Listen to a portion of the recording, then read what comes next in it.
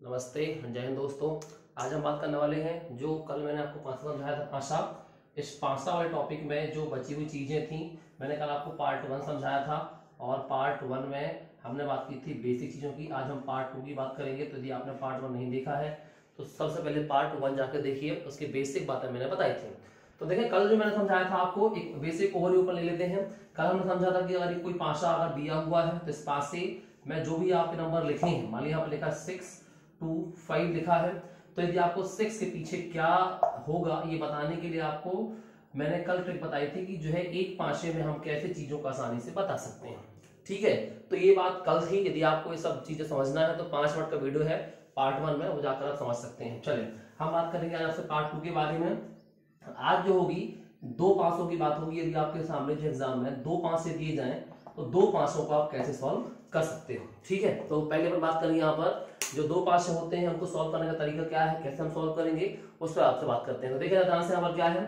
पहला, जिसमें बोला पाँच टाइप होते हैं, दो पाँच वाले क्वेश्चन में मैं टाइप नंबर वन बता रहा हूँ टाइप नंबर एक क्वेश्चन किस तरह सॉल्व किए जाते हैं। तो देखिए, यहाँ पर जो है, मान लीजिए, यहाँ पर एक ये बना हुआ है, ठीक है? और एक ये बना हुआ है। दो, एक ही एक्चुअली एक ही पासा है, और एक ही पासे को हम दो तरह से घुमाकर दिखा रहे हैं। यहाँ पर लिखा है टू यहाँ पर लिखा है थ्री यहाँ पर लिखा है फोर यहाँ पर लिखा टू यहाँ पर लिखा सिक्स यहाँ पर लिखा फाइव अगर एक ही पांचे की दो स्थितियाँ आपको दिखाई जाती हैं, और इस जो आपको दो से दिखाई जाती हैं, उसकी अगर बात कर लू मैं तो इन दो स्थितियों में समझिए कि यदि एक फेस पर, दोनों फेस पर सेम चीज़ है, यहाँ पर भी दो उसी जगह पर जहाँ पर ये दो जगह पर है तो इस स्थिति में जो उसके समकक्ष फेस होती हैं, वो एक दूसरे के विपरीत होती हैं। कैसे? अगर दो ऊपर है यहाँ पर, यहाँ भी दो है, वो कहीं भी हो सकता है सेम फेस हो तो चार के पीछे क्या होगा यहाँ पर पाँच जाएगा और तीन के पीछे क्या होगा? यहाँ पर छह हो जाएगा। अब बचा एक, यहाँ पर दो दो दो के पीछे जो एक नहीं दिख रहा होगा, एक हो जाएगा। कितना सिंपल हुआ यहाँ पर? सिंपल ये हुआ कि अगर एक नंबर दो सेम फेस पर दिखता है तो बची हुई जो विपरीत चीज़ें हैं, जो उसके साथ में अगल बगल होती हैं, वो दूसरे वाले पाँच से मैच करती हैं। एक और मैं आपको एग्ज़ाम्पल देकर समझा रहा हूँ, उसको आप समझ लोगे, अगर बहुत ईजी है। आप समझिए, यहाँ पर लिखा मैंने क्या लिख दिया वन टू थ्री लिख दिया, ठीक है? एक और पाँच यहाँ पर बनाया, और क्या लिखा यहाँ पर? लिखा सिक्स फाइव थ्री लिख दिया, ठीक? कॉमन क्या है? यहाँ पर थ्री वहीं पर, यहाँ पर थ्री देखो, एक नंबर कॉमन होगा, तब के लिए है। दो कॉमन होगा तो इसके बाद समझा रहा हूँ मैं। एक कॉमन के कैसे करते हैं वो समझा रहा हूँ। तो यहाँ पर तीन और तीन सेम फेस पे हैं। मतलब क्या होगा एक के पीछे क्या हो जाएगा यहाँ पर? छह हो जाएगा। और दो के पीछे क्या हो जाएगा यहाँ पर? पाँच जाएगा। बचा हुआ तीन तीन के पीछे क्या हो जाएगा? चार हो जाएगा। तो बहुत सिंपल है। इसको आप एक बार देखोगे। बहुत इजी क्वेश्चन है। सेम फेस पे कोई नंबर है तो इसको आप छोड़ दीजिए। अब ये एक जहाँ पर है, ऊपर वाले फेस पर उसके पीछे छह होगा। सेम फेस पर। दो के पीछे पाँच होगा। तीन के पीछे होगा जो नहीं दिख रहा है। ठीक है? तो ये हुआ छोटा सा। अब इसके अलावा जो है, इसका टाइप नंबर टू देखते हैं। कि टाइप नंबर एक था, इसको ध्यान से आप समझें। टाइप नंबर एक कैसे होता है? टाइप नंबर दो यहाँ पर देखिए। टाइप नंबर दो समझते हैं इसका। दो पांसे वाला। कैसे करेंगे यहाँ पर? दो पांसे बने हुए हैं, ठीक है?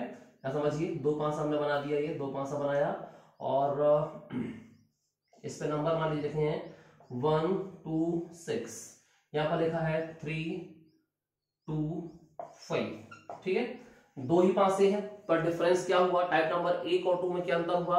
अंतर ये हुआ कि यहाँ पर है तो एक ही नंबर कॉमन पर सेम फेस पे नहीं है, उसी फलक पे नहीं है जहाँ पर इस फलक पर इससे पहले मैंने क्या देखा था कि कोई भी एक नंबर दोनों फलक पे एक ही स्थान पे था, पर यहाँ पर एक नंबर कॉमन तो है, पर अलग अलग फेस पर है। तो यहाँ पर देखिए, दो कॉमन है, आपको दिख रहा होगा, लेकिन यहाँ पर इस तरफ़ वाली फेस पर, यहाँ पर इस तरफ़ वाली फेस पर है।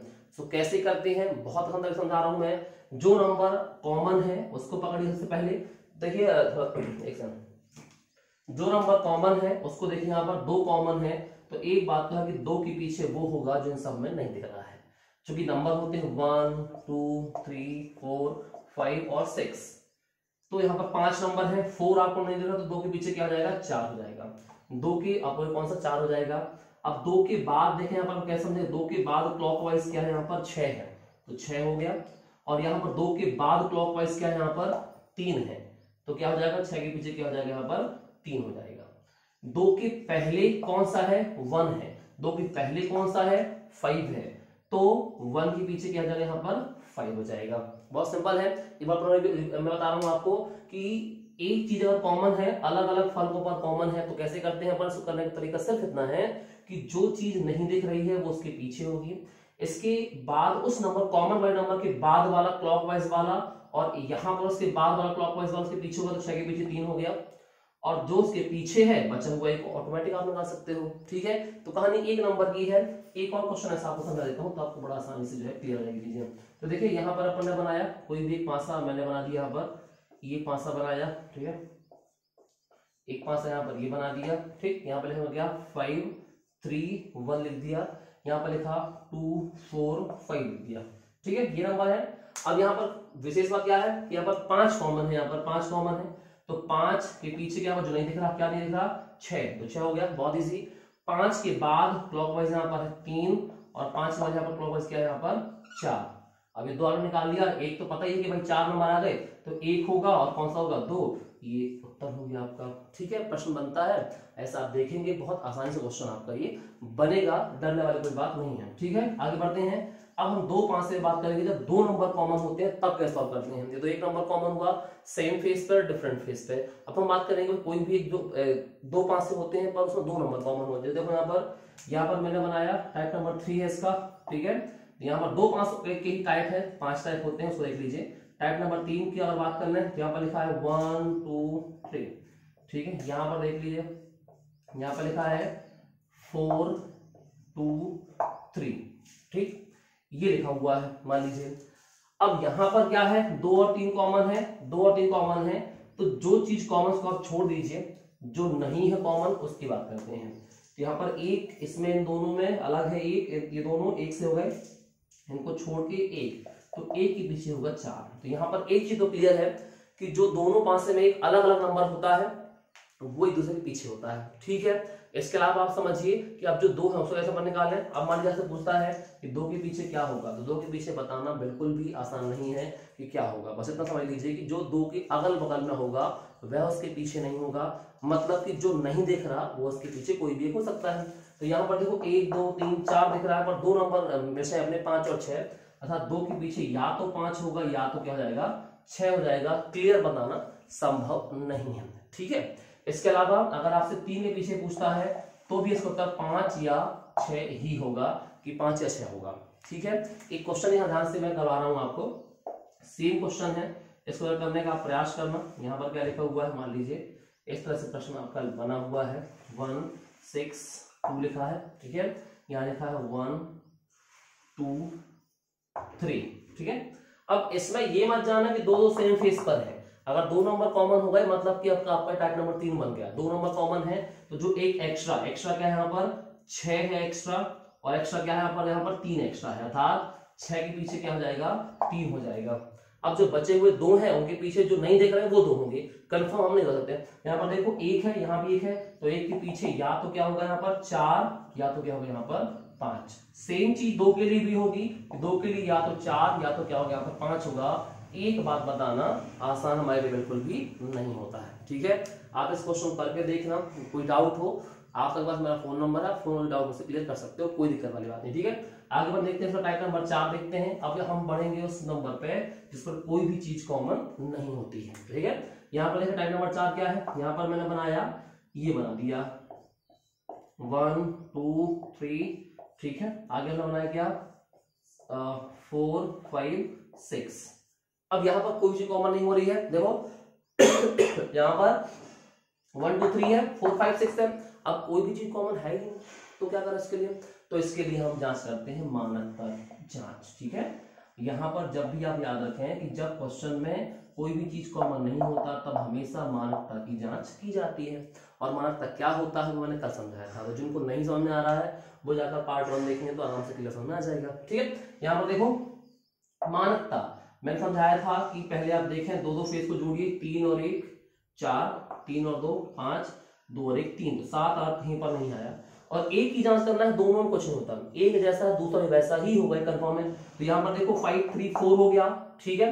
अब फाइव थ्री फोर मतलब सेवन नहीं है तो कैसा ये मानक पांसा हो गया? और मैंने कल समझाया था कि अगर मानक पांसा अगर आपने पहचान लिया तो हमेशा एक के पीछे होता है छ दो के पीछे होता है पाँच और तीन के पीछे पीछे होता है चार। तो इस वाले क्वेश्चन में अगर पूछे दो के पीछे क्या होगा तो ये दो के पीछे क्या होगा यहाँ पर? पाँच। एक के पीछे क्या? छह। तीन के पीछे क्या? चार। क्लियर है? नहीं समझ में आया? आ गया होगा, ठीक है? एक बार ध्यान से करने का प्रयास करना। अगर कोई भी चीज़ कॉमन नहीं है तो हम मानकता की जाँच करते हैं तो ठीक है? अगर मानकता की जाँच आपने कर ली और मानक पासा है तो हमेशा मानक पासा पकड़ना है तो एक के पीछे छह, दो के पीछे पाँच, तीन के पीछे चार ही होता है। इसलिए ना? चलो, इसमें एक आखिरी चीज़ है। अगर कॉमन हो, अगर वह सामान्य पासा ठीक है, इसका एक लास्ट है। ध्यान से समझिए यहाँ पर मैंने यहाँ पर बना दिया ये वन टू सिक्स ओके क्या बचा यहाँ पर? थ्री फोर फाइव मैंने कहा एक पाँच जैसा, दूसरा भी पाँच वैसा ही होगा। यहाँ पर देखो, हमने जाँच की, यहाँ पर फोर थ्री सेवन सेवन पकड़ में आ गया, दोनों पाँच सामान्य होंगी। अगर एक है तो दोनों होंगे यहाँ पर तो सामान्य पांचसा है यहाँ पर, और अगर सामान्य पांचसा है तो मैंने समझाया था कि भाई बताना यहाँ पर पॉसिबल नहीं होता हमारे लिए। तो क्या करते हैं यहाँ पर कि जो तीन ये होते हैं इनमें से कोई भी हो सकता है। आप मान लो छह के पीछे पूछता है कि छह के पीछे क्या होगा? तो छह के पीछे क्या होता है? जो एन को छोड़ दो ये समझ सकते हैं हम। तीन हो सकता है, पाँच हो सकता है, और चार हो सकता है। चार के पीछे क्या होगा, पूछेगा तो ये नहीं होगा, ये होगा। एक हो सकता है, छह हो सकता है, दो हो सकता है। ठीक?